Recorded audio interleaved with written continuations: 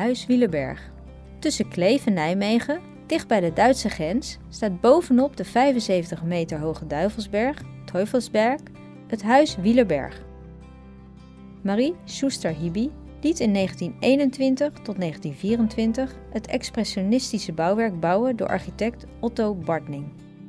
Zij woonde daar tot het einde van de Tweede Wereldoorlog. Het huis lag toen nog in Duitsland. Destijds was deze heuvel eigendom van de Duitse Marie Schuster-Hibi, geërfd van haar moeder. Zij was een kostschoolvriendin van Helene Kruller-Müller. De bouwlocatie is heel precies bepaald. Het prachtige landschap moest onaangetast blijven en bovendien moest het huis gericht staan op het dal. De broers van Marie vonden het ontwerp maar niets. Ze vonden het te modern, te excentriek. Van bovenaf is het huis net een grote kristal.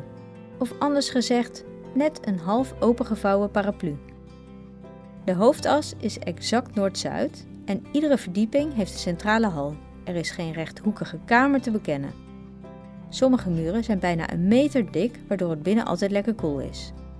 Het gebouw werd verwarmd door vijf grote tegelkachels.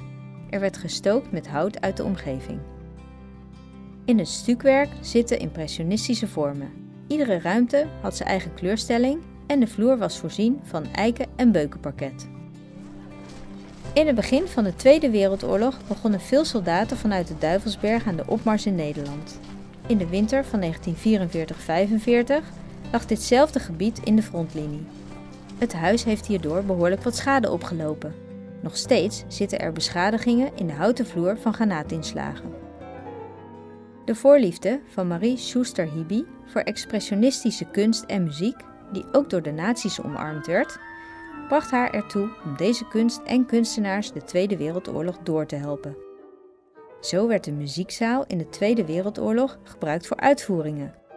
Na de oorlog waren de kunstschatten verdwenen en was de villa verlaten. Nederland annexeerde grote delen van het aangrenzende toen nog West-Duitsland. Dat werd door de geallieerden vaak teruggedraaid.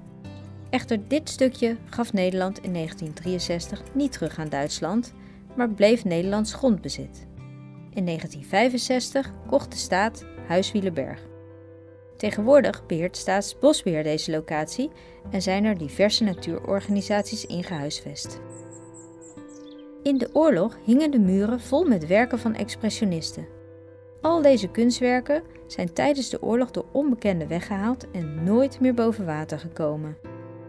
Het verhaal gaat dat er nog werken zijn verstopt in verborgen ruimtes in de dikke muren. En nog steeds zijn er waarschijnlijk ruimtes die nog niet zijn ontdekt. Maar wat is hij nou van plan?